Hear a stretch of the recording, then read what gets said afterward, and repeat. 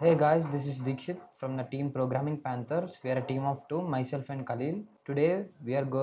Our project is to create a random number generator. Generator. So we'll be creating it. Let's create a new folder. New folder. The name of random number generator. We'll be creating it with the help of uh, Visual Studio. So let's open Visual Studio. We'll open the folder that we have created in the desktop. Stop. Random number generator. Select folder. So we'll be creating a random number generator using Visual Studio. Now we'll be creating a new files in this, which are named after index.html, style.css, and script.js. We have created three files index.html, script.js, and style.css. Now coming to index.html, HTML yeah this is the html code which we actually this part is written by using a basic Emmet called doc. This line specifies the type of the document which is html and this is the language of this html document which is english. The head section contains the meta tags and the external uh, links used by this page. This meta tags we have viewports uh, we have used for viewport settings and for compatibility of the web page and here we have linked the css file also because we'll be styling this document using css so we have linked the css document. And here we also link the bootstrap file uh, from a cdn so we can style with uh, using the bootstrap also.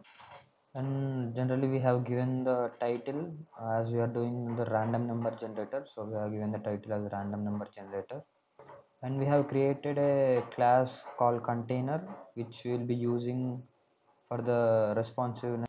So this is ba basically a bootstrap class uh, will that will be using. So for giving some heading we have written random number random number generator using the h2 tag. We will be creating a span number with the id number to display the generated random number. And the initial value is set to 0 as we can see here and next we have created a button which we will be using. So we can if we click that button it will be generating a new number. And we have linked this javascript file so which we used for the responsiveness. So i will link that to the html file. Now coming to the css so we will be using this for styling the html page.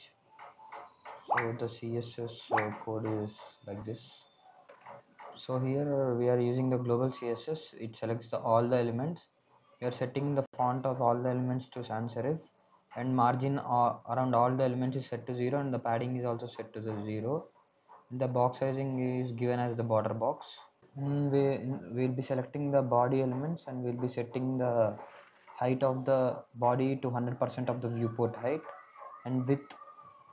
And we'll be setting the width of the body to 60 rem and here we can see the dis display flex and we'll be displaying the body as a flex container and we'll be aligning the items of the uh, items of the body to the center vertically.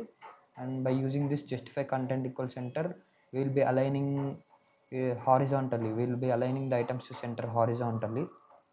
And we are given a padding of 470 pixel and background color as red and we'll be selecting the container elements all the container class elements and uh, we'll be setting the background color to transparent and the back backdrop filter to blur and uh, we'll be giving a padding of uh, 2 rem and the border radius is 1 rem and text should be aligned to the center.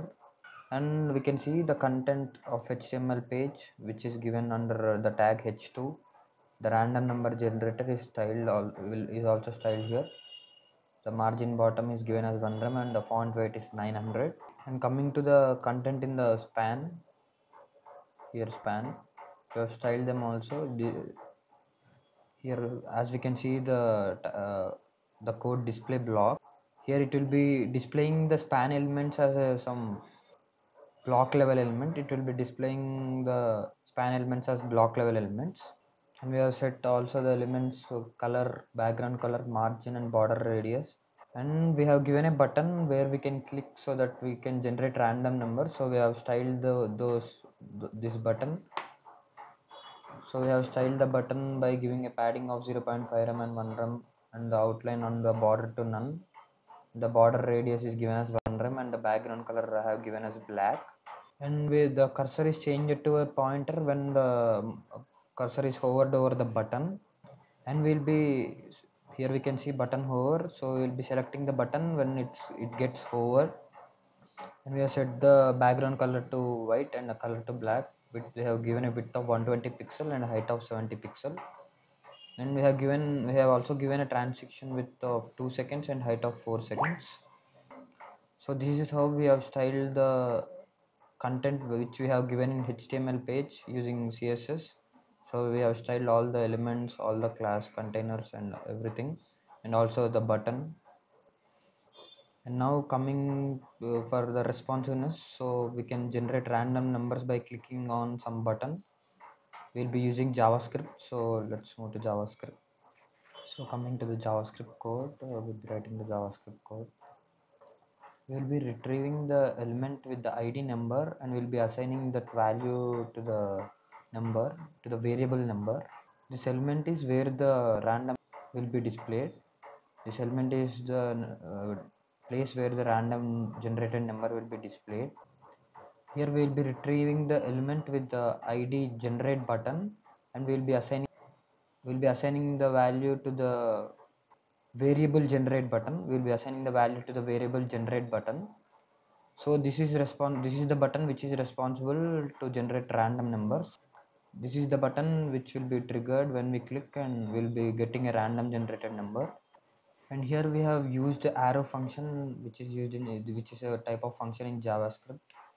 So this is will this will be helpful to generate a random number and display at the place.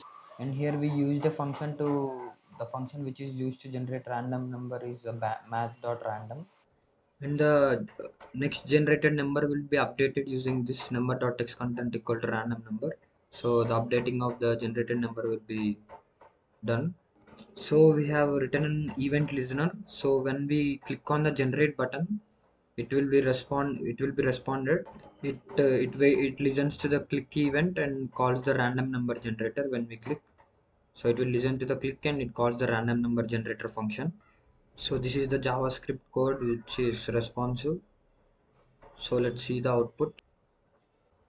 So we can see a random number generated already. So when we click on the when we click on the generate button it will be the event will listen the click and it will lead to the random generate random generate number function and it will generate a random number again and it will generate a random number again as you can see so we can also let me show you.